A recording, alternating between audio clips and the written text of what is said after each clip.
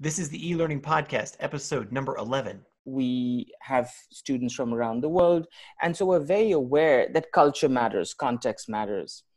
However, uh, and this is this is true to the UN too. There's much much more that connects us as a human family that we share than that's different.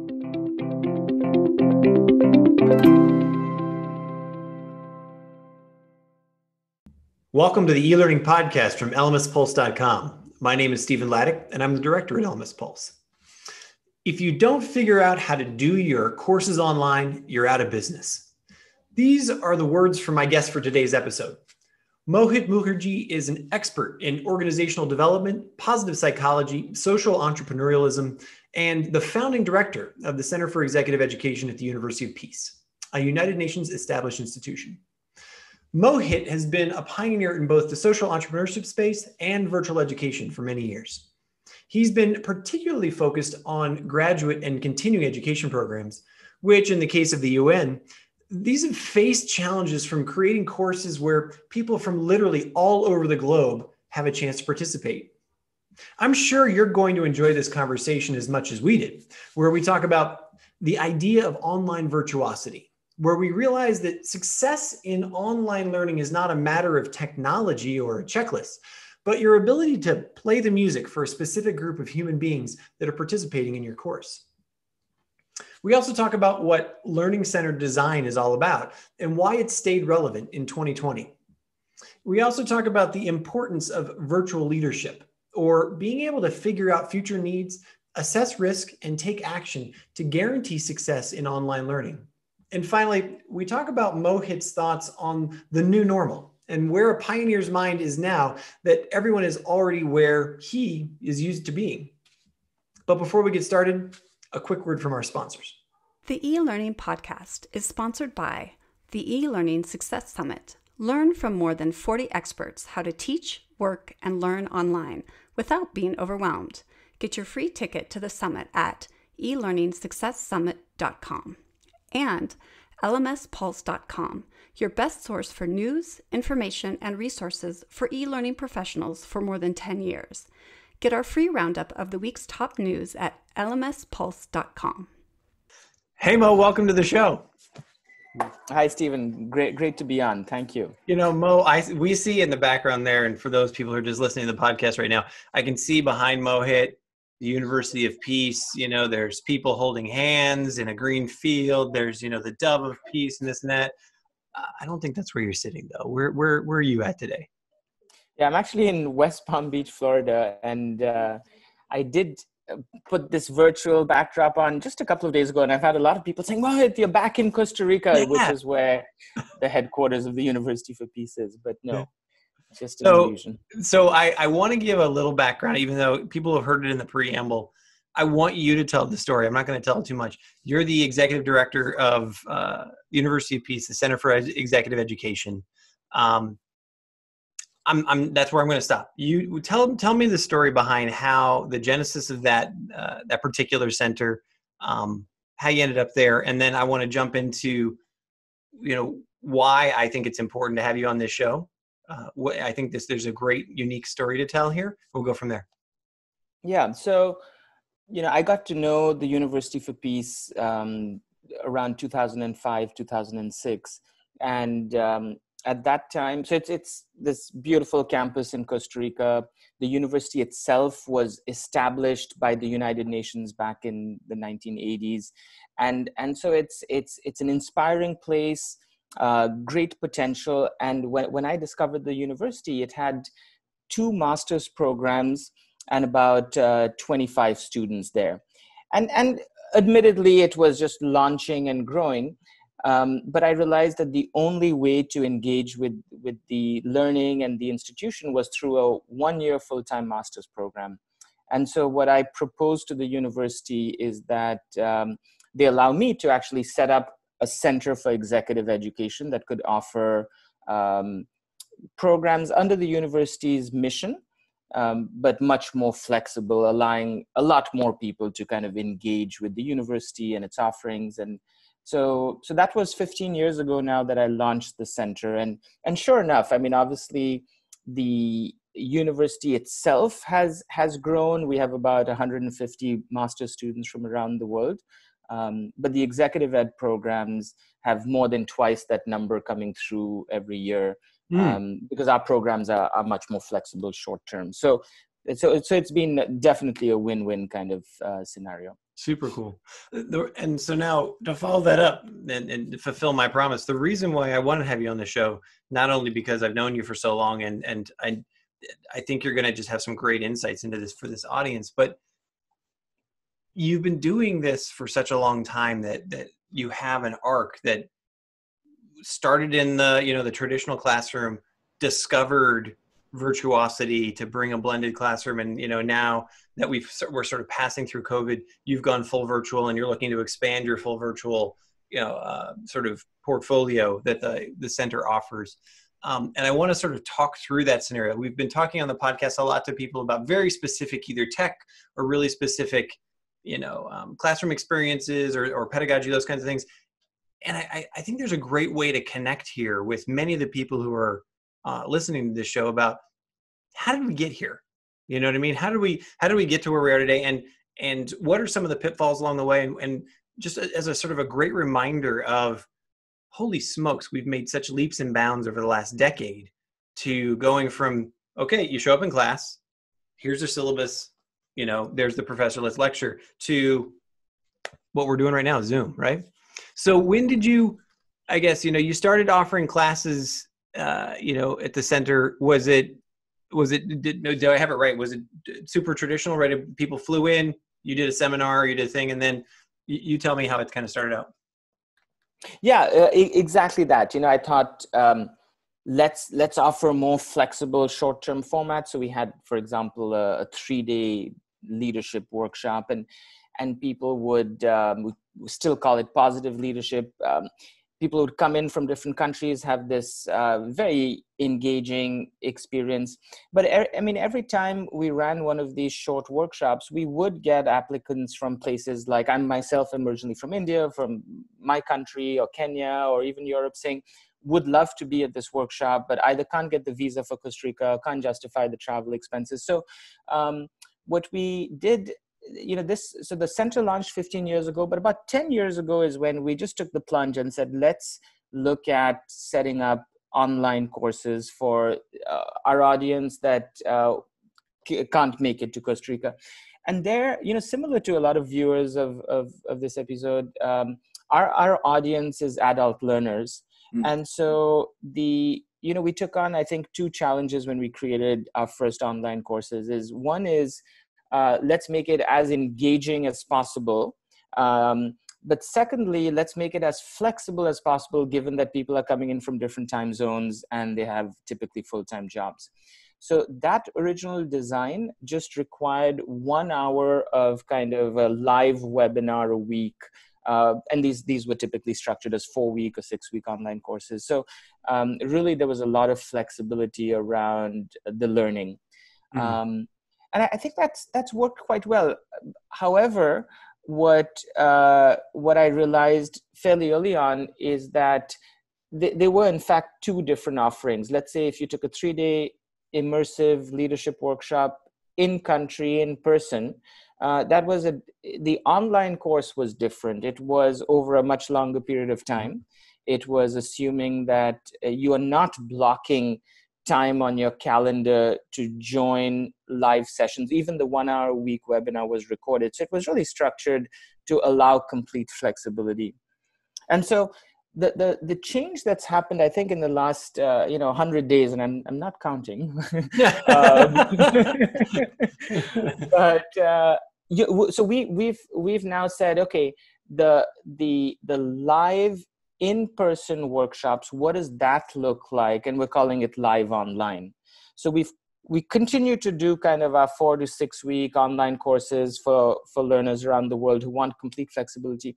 But we've also and i would say fairly successfully translated these immersive experiences into immersive online experiences where we do ask people to block you know three hours on your calendar we don't do so far we haven't done anything that requires more than three hours at a time uh, per day but we've taken let's say a 16 hour uh, two day workshop and put it into a four day period instead mm-hmm. or you know, mm-hmm. reduce the time a little bit so i can talk a little bit more about that journey um, but i think it that's something that again the the, the covid situation has really i'd say forced us to create something that we should have probably created a long time ago because that's quite different from a completely flexible online experience so i'm i'm interested to see and what's really dawned on me and I hate to say this, uh, you know, now that we're we're we're kind of in the middle of the episode here, mm. is that you know one of the key conversations that's happening right now is just sort of the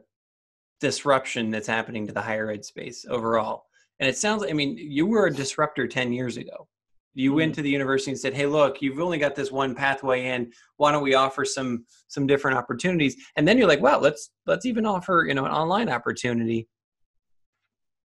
did it feel the same way you know 10 years ago that you were like look i'm i'm on the bleeding edge here uh, was the administration just like oh yeah go for it you know this is great Let, let's run with it was was there resistance and the reason why i'm asking that is do you see the same thing happening now where universities or especially university pieces just trying to figure out where do we fit now and, and how do we deliver and what you know what are student expectations for what it not only what a degree is going to offer but how they how they how they receive it so, great question. I'm reflecting on it as I answer. I think 10 years ago, yeah, I did feel like a disruptor in the sense that there were many reasons universities were, were shying away from taking that leap, right? Mm-hmm. What's that going to do to the business model? Um, if we start offering online programs, uh, is it going to cannibalize our own face to face programs? Uh, I think a big big resistance was people getting their head around it right mm. like how is this going to work how am i going to interact um, and so so there was a a technology piece there was a, a kind of a, a, business model piece and then i think anyone taking on something new uh, in the online space uh, there, there, there wasn't necessarily the necessity yet to do it mm-hmm. and so that's where i felt like I, I want to try this. What's the worst case scenario? Uh, by the way, I love learning. What an opportunity to learn and meet our our kind, you know, our potential uh, students' needs who can't travel to go. So there were many many reasons why I was I was happy to make that leap of faith. And, and quick anecdote, I, I we we launched our we kind of advertised our first online course. I hadn't built it yet. I wanted to make sure that i have a number of students before i build it. And the the we we got to that number and then i started having uh, sleepless nights you know because i was like i, I oh, don't no. really know. So it's just admit it's it's uh, and it, it did take a lot of um, that that I, I got to get it done because the course kicks off and I don't exactly know what I'm doing and I'm hoping that it comes out well because I'm I'm committed to this mm-hmm. yet I have um, have not done it before. And so so it, it was a stressful experience. Very glad I, I, I took it on. I think fast forward 10 years um, by, by the way, uh, uh, and then the University for Peace also did it too. That they now have a fully online master's program, so they did need someone to kind of try it out and and and show them the way. Everybody needs an icebreaker, sure. You know, everybody needs sure. to take the lead. And hey, look, and, and I want you know finish. I want to finish your story, but circle back. Like I want to hear some of those fails along the way. You know, like that's that but anyway, yeah. let's tie this in a bow. yeah. I, so I think now we're in a very different time. I think now it's it's if you don't do that, if you don't figure out how to deliver your face to face programs online, you're out of business. Mm-hmm. Right. So, what a lot of universities have done so, so, my wife, for example, works at Palm Beach State College, big community college. When, when COVID broke, they just told their professors, uh, you know, deliver online Mm-hmm. I, I, mean, wh- there was no necessarily so, so, some faculty were already doing some online and some face to face, so they didn't have a necessarily a problem to try to figure out what that meant.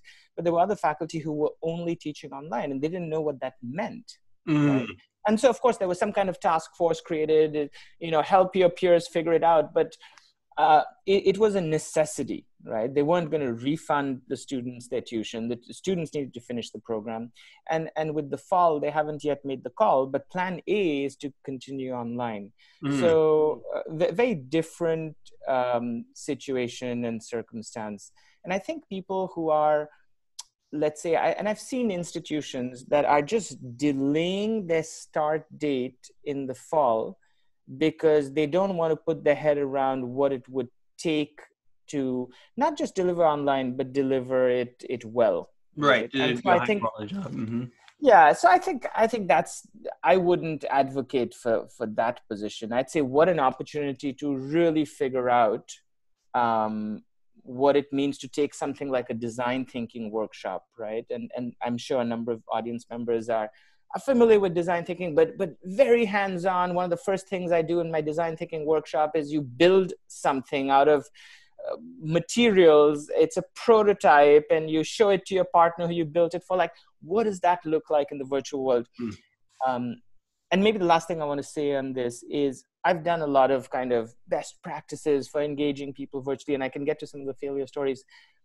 I don't think there is a a a formula for doing this um, whether it's the technology or it's it's very different if you're looking at young undergrads and trying to say hey everyone put on your zoom camera what does that create in a teenage girl right the mm-hmm. fact that everyone's now staring at her she's just totally distracted staring at herself and wondering if she should have a different virtual background or if her hair is okay so so yes good to have people put on their camera like that but no it, it, it's not always the case with with every audience so i, I i'm just finding that I come back to I think one thing UPeace is really good at is is is this idea of empathy, right? Mm.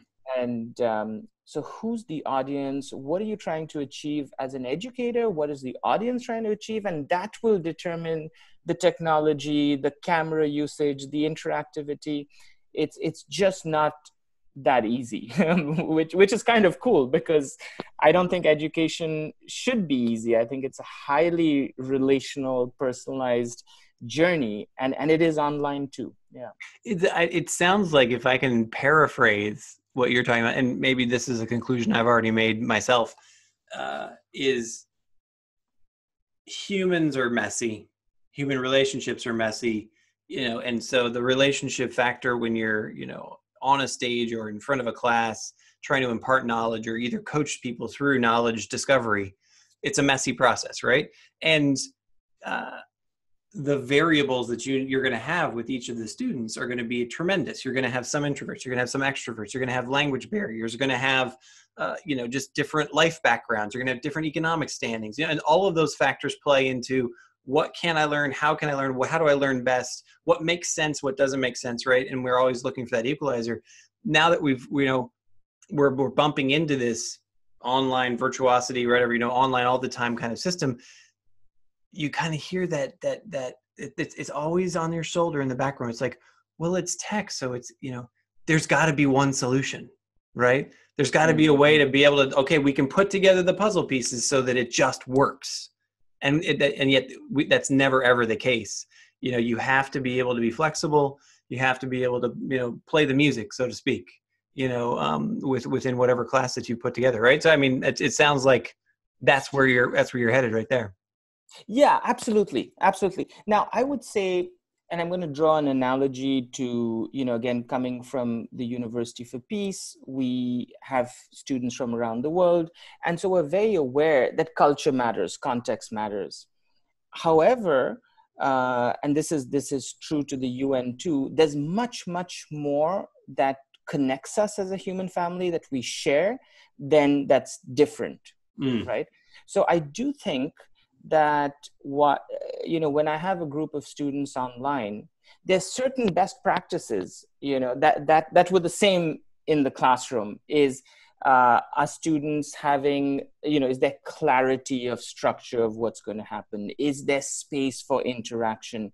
Is it learner centered is there some differentiation in the pathway they could take? Is the are the assignments taking into account you know their why for being in the, in the course so th- those principles stay the same um, the the technology I, I, spent a lot of time. I, I do default to Zoom uh, as as the as the platform that I can handle best in terms of things like breakout rooms, sharing a whiteboard, having people. Mm-hmm. You know, maybe I draw a change continuum on and share the whiteboard, and people annotate where they are on that. So, I, I think being able to handle the technology is essential because then you you might want to do something but you don't know how to do it you know which right. is which is a huge handicap mm-hmm. but then figuring out for that particular group and given your mastery of of the platform exactly what you're going to do that looks different every time just like it would look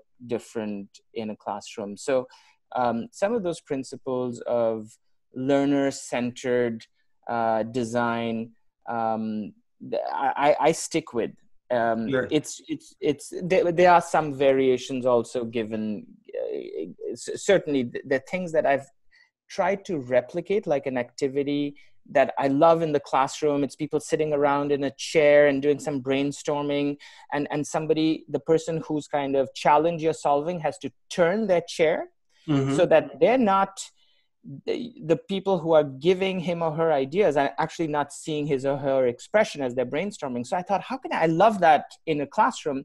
How can I replicate that on Zoom? And turn, I figured turn the video off.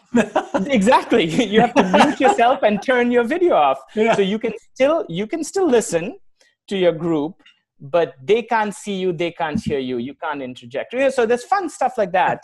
Mm-hmm. Uh, but then there are other things that you know you just have to change. Uh, the recently you know, with the with the situation around you know white privilege and we were we were looking at uh, this idea of the uh, some of you may know the the privilege walk and then mm-hmm. there's certain things I, I wouldn't try to replicate online i just thought no that that one um, let let's let's not go there right in, in so um, it's it's it's been to maybe to summarize yes there's a high level of art and i do think those principles of good teaching and learning um, to a large extent still apply mm.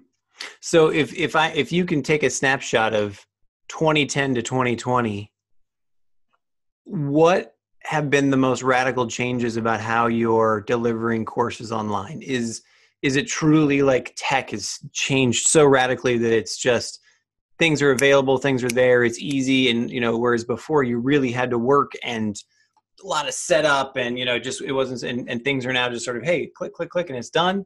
Um, is it connectivities available now more? Is it that just people have a, a better vocabulary and more comfortable? Um, what, what are the what are the thing? what you know between then give me a then and now like what are the pieces? Yeah. Yeah you know all, of the above. I think i can't even remember the platform the name of the platform we used to use 10 years ago for for when we did the the webinar piece right? Um, but it was definitely much more of this top down approach where the facilitator would come with his or her presentation and uh, would be able to share slides, I think, and then there was uh, probably a chat box for questions. So uh, it, it, it, we didn't try to make it interactive we figured the interaction could happen on uh, the LMS platform in kind of a, a, forum chat, right? So we we had those pieces separate, and you know that now with Zoom, um, for example, when uh, because we we still have you know those those online courses that were created ten years ago, um, they still exist to allow maximum flexibility. But in the piece where people do come together for that one hour classroom session a week, um, we encourage all our facilitators that that hour should be super interactive. I mean, the mm. content piece should have been posted as a video or should have been posted. Uh, people should have engaged with that prior. So it's a, it's it's a bit like the flipped classroom idea popularized by by by the Khan Academy, uh, in the sense that the the learning the content we try to have happen before the webinar and the webinar is really for engagement where we yes we do encourage people to turn on the videos we do these small even paired chats you know pair up with somebody if there's 22 people on the on the webinar you have 11 breakout rooms come back pair share it it very much feels like an engaged uh, room of people having Mm. different conversations, coming back together. Um, and I don't, I don't think the technology would have allowed for that. Even bandwidth wise, we wouldn't have been able to to pull that off. Um, on the flip side, I think a lot of participants are much more comfortable. Um, we have participants from around the world, so I think they they're much more familiar also with with online learning. So the the learning curve for them to be able to engage that way, uh, many have already had past experiences, and the ones who haven't, um, they've had similar experiences in a different context. Mm. Um, so it's it's looking very very different. Yeah. What's your What's your favorite fail from the last ten years? Has it been, you know, an entire entire course just didn't go off, and you know all the videos disappeared? Was it, you know, is, is it always a tech fail, or was it, you know, a a, a- a teacher fail, like a professor fail? Um, Yeah, you know, and I'm trying to I'm trying to think about how to tell this story without necessarily. Uh, I don't know who's going to watch this. If they're like, oh, let me see who's who are the facilitators.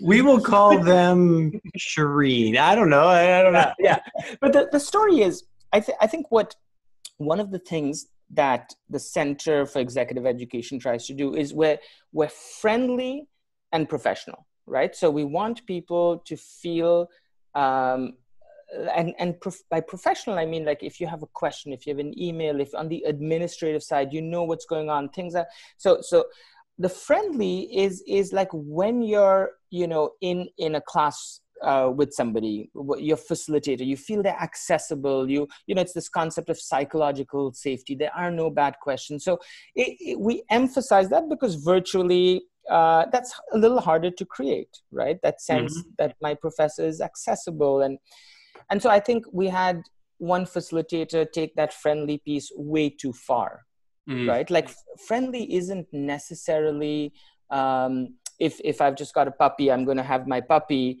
in the webinar and occasionally barking and saying oh so sorry like i'm just going to be back in two minutes. That that i think is is is not understanding um, the original idea of of being friendly. Friendly is to disarm the uh, you know that any tension and any hierarchy but that's just plain distracting. That's actually interfering with the learning objective.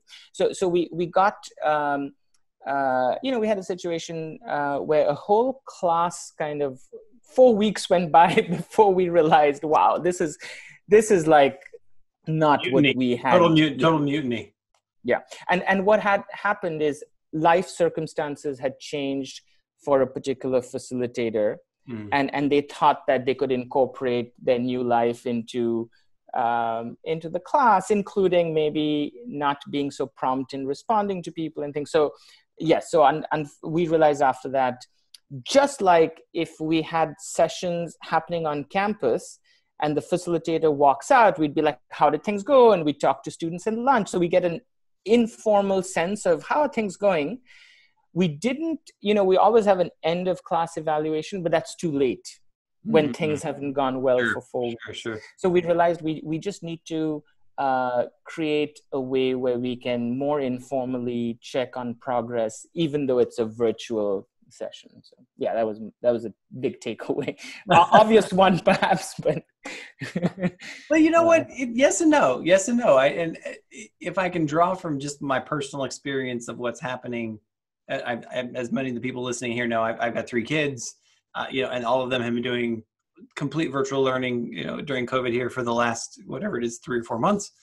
Um, some of their teachers are rock stars, right? Some of them have just they- they're either naturals with the technology or behind a camera or whatever, and they've delivered you know at the different grade levels and some of them have either phoned it in or just you know barely made it you know barely made it to just to getting the learning you know in front of the kids.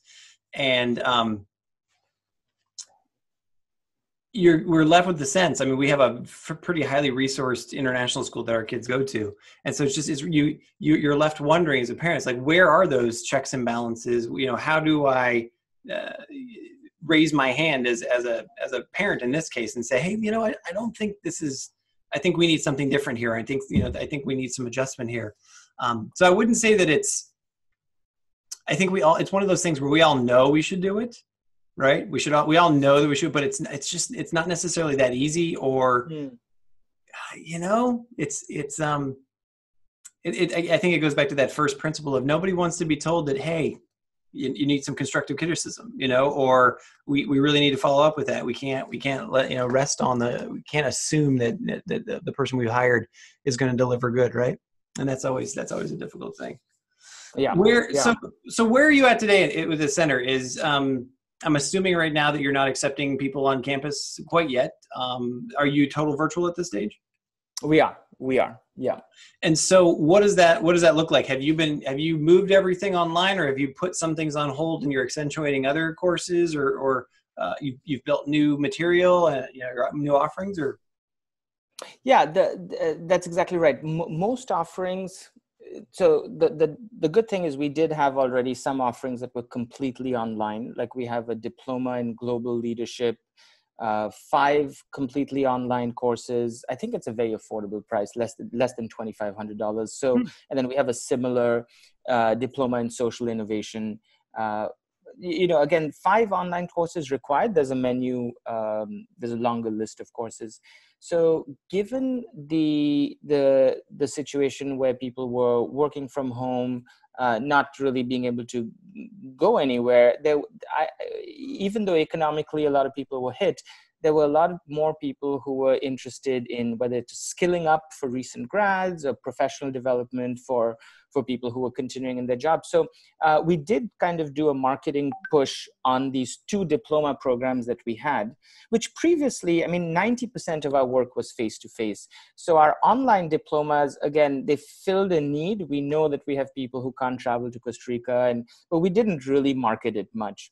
And so we did kind of make a marketing push on these two diplomas. Um, and that that went that went very well. I think we got mm. in about 40 new students. Uh, again we never have more than 24 in a in a, on a course but uh, across different courses this worked out very well. We added an element of coaching uh, so one-on-one coaching outside of the the diploma program because we did feel that some of these new participants in these online diplomas um, would have actually taken it face to face. So so we we kind of offered that higher touch one on one for one one on one sessions during a certain period of time. So that's what we did with our existing online programs. Basically marketed them. Yeah, pushed um, them. Yeah. Mm-hmm. Pushed them. Yeah, and and made small tweaks. Uh, on on the the the work that we would usually do face to face um, so, a couple of interesting stories. One is uh, we work with a lot of US universities who want a short term uh, study abroad experience in Costa Rica. Uh, so, most of them have just pushed back to 2021. But uh, for, for one of the universities, we're creating a virtual uh, study abroad program. Um, yeah, you know, they, they, it's a fairly low budget. We had originally suggested things like, you know, virtual reality goggles for uh, for all the participants in the US. Then we go out to the field in Costa Rica and create some videos that make them really feel like they're in this, because uh, we do a lot of field visits and things. Didn't have the budget for this. Maybe it's a good thing. It would have been a lot of experiments in one. I was but, just going to say that's that's that is one heck of a deep dive leap for you to like. Oh, we're just going to go do 3D videos. Like yeah, yeah. Fortunately, I have a very good friend who who's in this space. But oh, okay, uh, but what we decided to do is things like you know everything from typically when when a group of students would come to costa rica they would be you know exposed to costa rican cooking and and and language and meet people who run these organizations. So you can imagine how you can set some of these up virtually right? From from having sending them the recipe for costa rica's most famous gallo pinto rice and beans dish and everyone makes it to uh, to having uh, um, the, the kind of a case study of an of a, let's say a coffee plantation they would have visited but then having the owner talk to them about you know their corporate social responsibility policy. So so it's a it's we the, the nice thing for uh, for us is we had a university that was willing to go that direction. Uh, for the students it's it's at a much lower cost. And i do think that depending on how long uh, this no travel situation goes, I can see that more and more universities would say, wow, this is actually a great way to get to our learning objectives. I mean, being in country is is not the point, right? The point is a global mindset. Mm-hmm. So how do we get to those learning objectives if we can't get on a plane and be Mhm, in the street, right? mhm. So, so again, that's an educational problem that we're solving, and the technology can enable that. But it's it's fundamentally about what learning, what mindset changes are, are we typically enabling, and how would we enable that if if people Mm. aren't in country. Um, the the other one is just you know corporate workshops. Uh, we work with a lot of companies. Um, I'm uh, designing a, a session for for P&G. Uh, that that one's uh, you know initially it's it started off as um, how, how do we how do we lead virtual teams, and so so that first session was best practices and let's let's you know it, it, it wasn't rocket science. But then we got into well let we want to talk about psychological safety. And um, and so that session again was one that if i have people in the room um, would be very dynamic exchange of ideas what can each person do to build psychological safety. So that was an interesting one to structure in a virtual space.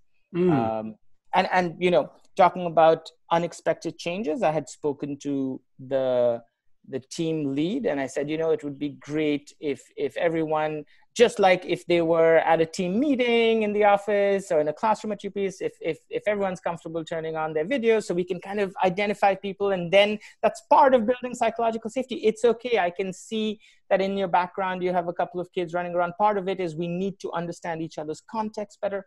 But it, it started off with the team lead saying, Hey Mohit, I know you'd asked for videos on, but we're having bandwidth problems, so no one's going to turn on their videos. oh, you have the whole thing planned out. I love it. I love it. right. Yeah. So, so when, when people were talking, I, I didn't know who they were. There were enough people on that call. Um, so, so again, one, one has to uh, adjust, of course, in ways that if I have people in a room and everyone showed up with a paper bag over their face, it's just not happened to me yet. You know. no, but it goes back to that, you know, the human messiness and it's the art form of, of you know, uh, it's something that we I, have talked with you know with several of the people on the podcast here and, and over in the e-learning success summit that we did a couple months back as well where um, you just have to be ready to respond to what is what you know what the needs of the learner are you have to be able to respond to what the situation puts in front of you. And there's just there's there's not going to be that that you know either technology bundle that you put together or or even a pedagogy or curriculum that you put together that's going to be awesome for everyone. And even if you did even if you did you know life will intervene right? My kids could walk in through the door or you know um you know there's electrical storm and my my internet goes out or you know there there, there will be something that intervenes right um yeah so it's and, and so so maintaining that art form i love I, I love keeping that real especially since there's just been so much emphasis on this virtual or this virtuosity and delivering virtual that it you know ultimately we st- still has to we just have to be uh, we have to be adult and as you say friendly and professional. I like that i like those two pieces. So you're you're fully online right now. Um, one of the one of the things i've been asking everybody at the end you know sort of the last question here what's your anticipation for maybe the coming school year? Uh, or and is there anything either new normal that, that you're anticipating is, is definitely you know things are going to stay this way? You know we, we we've we've uh, leaped a frog or you know we have crashed the threshold now where like okay this is you know online learning not only is here to stay but most people are going to be demanding it or maybe there's a new tech or, or whatever. What are your thoughts about you know three months six months out about what you know what you're anticipating for what you're planning for yeah so you know may, maybe my answer is uh, been echoed by other people. I, I, I feel that it's probably not very original. I, in the short term hard to predict right? Whether it's three or six months um, it's a it's a looking at, at kind of the virus versus vaccination.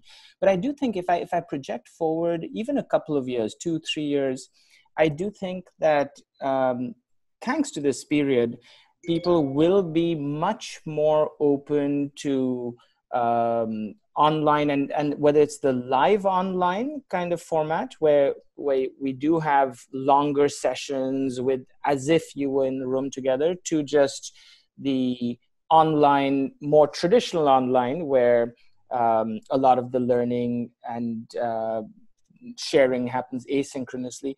I, because a lot more people have been exposed to it on the kind of student side students parents and then a lot uh, of educators have also like i said some of them have been just forced into it overnight but figured it out seen some of the benefits. So i think what's going to happen is uh, certainly there are going to be many instances where uh, and I'm, I'm thinking first about the professional development context. So adult learning uh, companies that are thinking about where, where there's going to be some some blend of let's let's let's do this leadership one year leadership program where only twice a year people come together in person.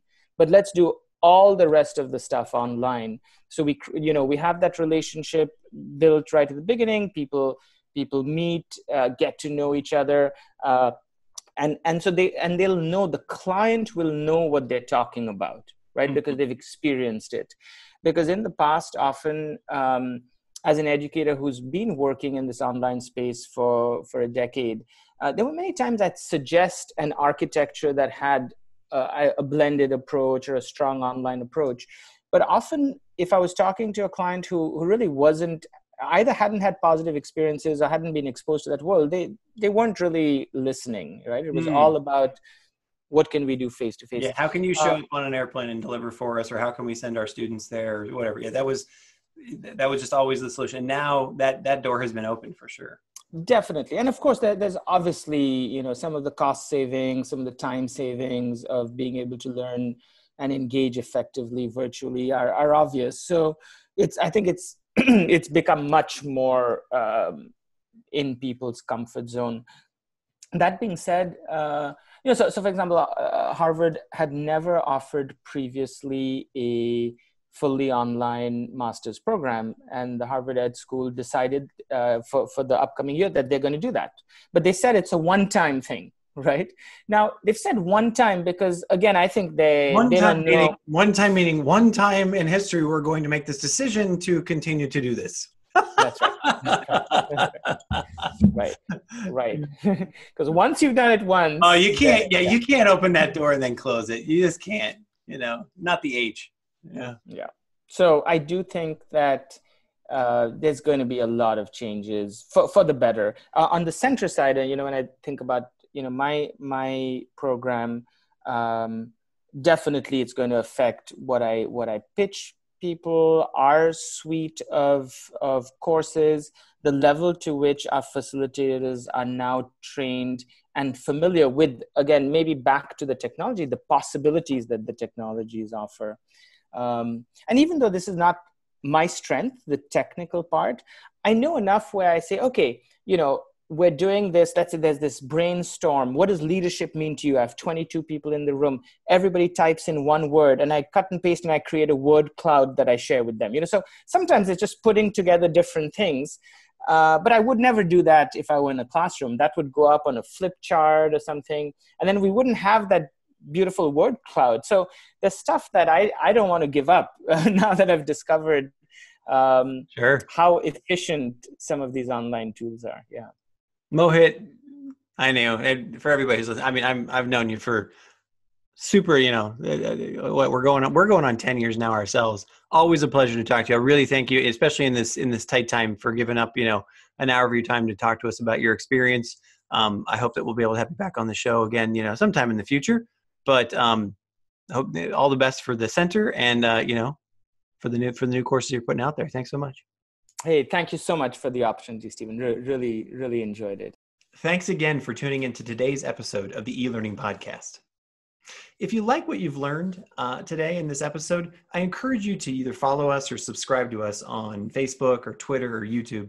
And please do share this episode with one or two of your colleagues or friends. Also, I just want to remind you that you can level up your online learning game with all of the information that's available at the eLearning Success Summit. You can get your free ticket at elearningsuccesssummit.com. And finally, you can also stay up to date on everything that's important, all the news and the resources for e-learning professionals at lmspulse.com. Get our free newsletter by just going to lmspulse.com today. Thanks again.